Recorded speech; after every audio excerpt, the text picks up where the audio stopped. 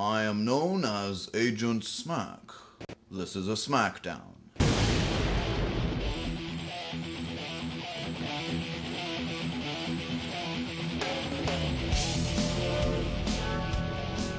Our goal is to prevent the distribution of a new enlightenment drug called the Helix.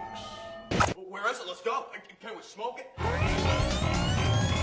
One of the key dealers is a man known as Orpheum. Come on. Now show me your money. Orpheum suffers from the Napoleon complex. Boo hoo. Do you think that what I did had anything to do with my huge genitals?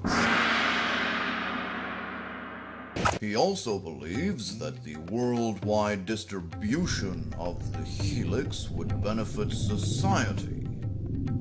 That stresses me out.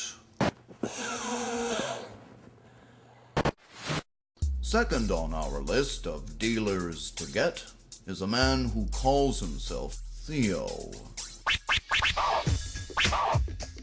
Theo enjoys dumpster diving on his days off dishwashing. He also believes that he can stop bullets. Stop. Collaborate and listen to each other. He is incorrect. Oh, fuck! If you have seen either of these Helixian terrorists, please contact us immediately and stay tuned for future communications.